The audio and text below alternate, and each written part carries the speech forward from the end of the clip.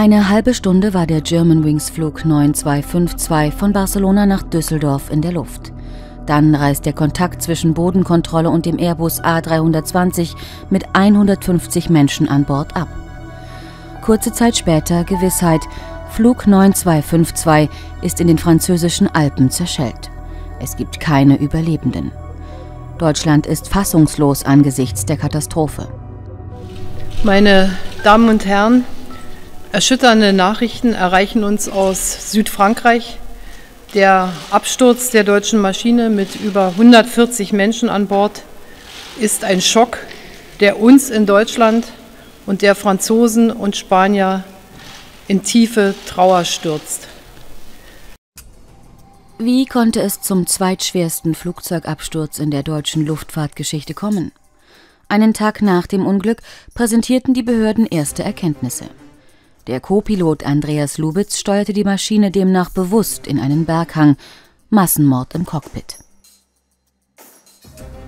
Diese Aufnahmen zeigen eine Simulation der letzten Flugsekunden für das spanische Fernsehen. Vor allem im Internet kursieren jedoch auch Zweifel an dieser Darstellung.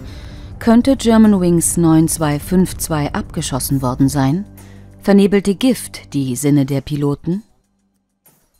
Robert Stein absolvierte in den 90er Jahren eine Ausbildung der Lufthansa Verkehrsfliegerschule und war später viele Jahre Sicherheitsmanager am Münchner Flughafen. Dass auch eine Woche nach dem Absturz der Flugdatenschreiber noch nicht ausgewertet werden konnte, macht ihn stutzig. Also das mit dem fehlenden Flugdatenschreiber finde ich etwas merkwürdig, weil diese äh, Geräte sind so stabil gebaut, dass die also auch die härtesten Unfälle überstehen sollten. Sie sind gegen Feuer gesichert, gegen Stoß, die sind extra gepanzert, die sitzen auch am Heck des Flugzeugs, das einfach statistisch gesehen die geringste Verformung aufweist, weil der Rest des Flugzeugs dann eben schon so viel Energie aufgeschnappt hat beim Abprall.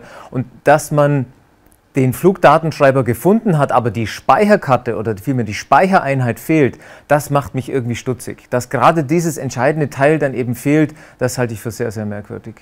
Andere Fakten sprechen jedoch für die bisherigen Erkenntnisse der Behörden, etwa das Trümmerfeld an der Absturzstelle in den französischen Alpen.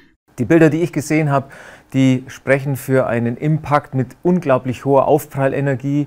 Das heißt, die kinetische Energie, die in diesem Dutzende Tonnen schweren Flugzeug, das hat ja 100 Tonnen das Flugzeug, wenn das mit 5, 6, 7, 800 km/h auf so einen Berg aufprallt, auf so ein schroffes Gelände, dann wirkt das schon wie ein ziemlicher Schredder, diese Leichtbau-Aluminiumweise von dem Flugzeug, die, äh, die, das Flugzeug desintegriert dann einfach. Es bleiben nur noch einzelne Rumpfsegmente liegen, wie man gesehen hat, oder das Fahrwerk, das aus starkem Stahl besteht, das bleibt dann schon liegen.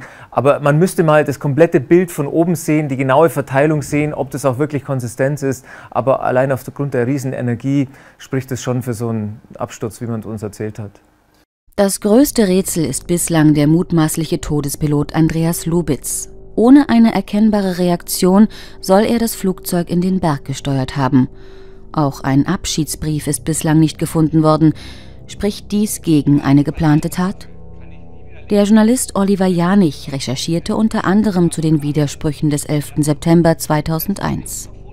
Er hält derartige Überlegungen für sinnlos. Da sage ich, das ist, keine, äh, das ist keine Diskussion. Wir können uns auch nicht vorstellen, wie, dass es äh, Massenmörder gibt oder Serientäter.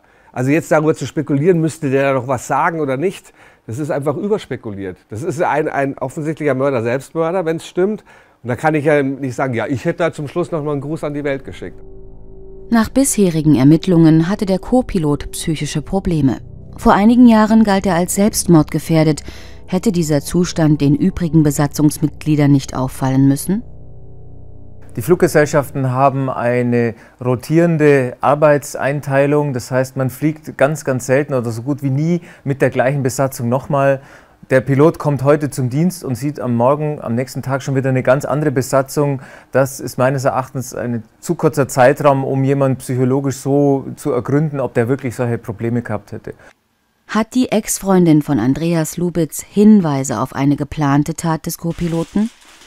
In der Bildzeitung sagte die Frau, die anonym bleiben wollte, ihr angeblicher Lebensgefährte soll indirekt mit einem Amoklauf gedroht haben.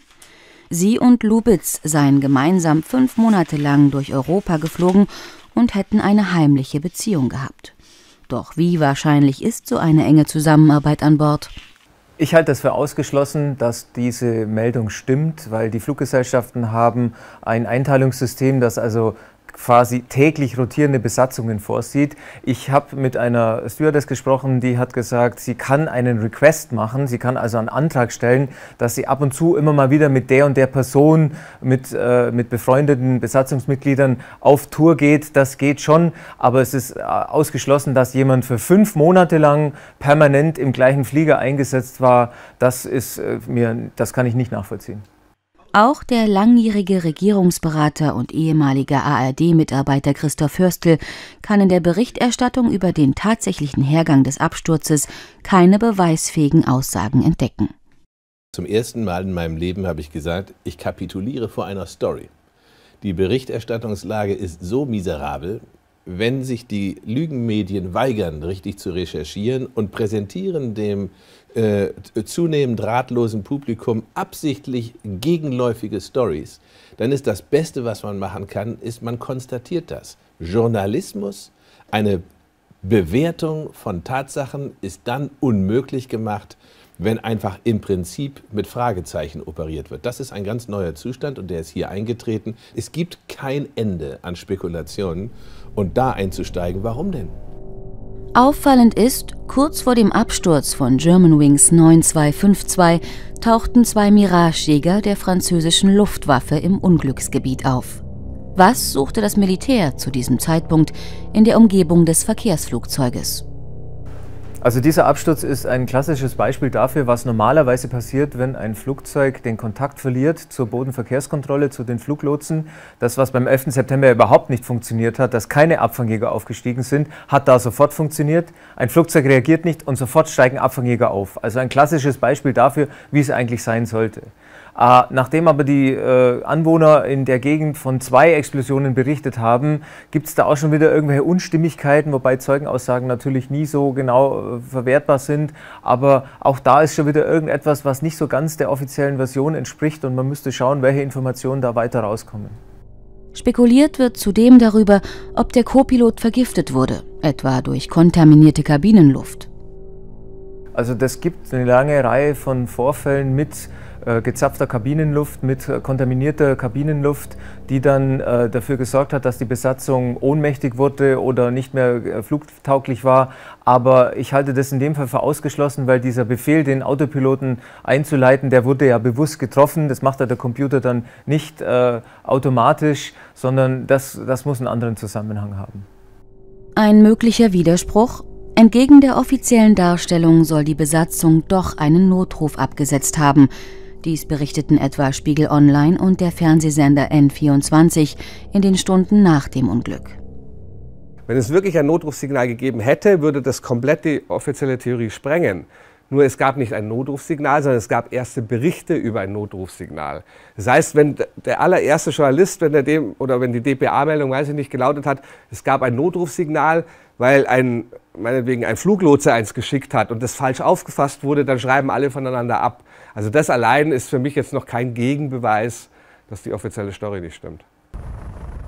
Bis zu einem Abschlussbericht über die Katastrophe von Germanwings 9252 werden wohl noch einige Monate vergehen. Überraschungen sind nicht ausgeschlossen. Gefällt euch unsere Arbeit? Dann unterstützt uns mit einem Nur Viso Premium Abo. Unter www.nurviso.tv findet ihr weitere Informationen dazu. Wir sind gespannt auf euer Feedback zu unseren Beiträgen. Teilt bitte dieses Video und helft uns mit der Verbreitung dieser Informationen. Wir sehen uns bei der nächsten Ausgabe von Noviso Total. Tschüss!